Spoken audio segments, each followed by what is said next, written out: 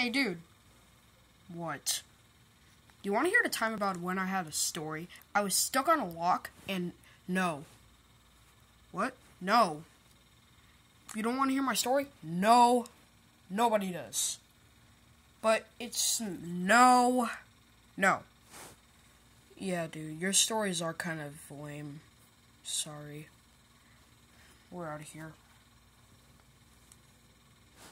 Oh. Okay then. it's us to be back. So, what's our first challenge? For this episode, there will be no challenges. The you you guys will be randomized, eliminated. You guys will be randomly put up for elimination. This is the first episode of season two. So, let's get to it, shall we? Randomized first.